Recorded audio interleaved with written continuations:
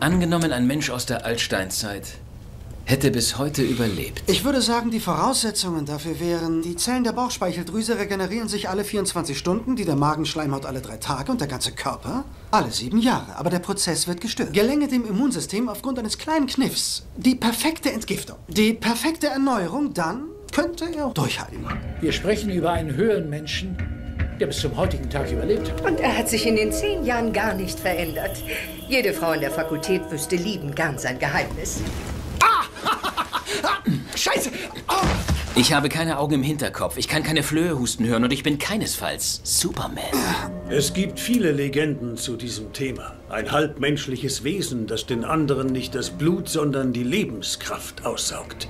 Gott spricht darin zu den Menschen, um sein Wort zu verbreiten. Sie haben vier Männer der Wissenschaft verwirrt, mein Freund. Ihr müsst glauben. Sie sind ja ein Sonderfall für die Klapsmühle.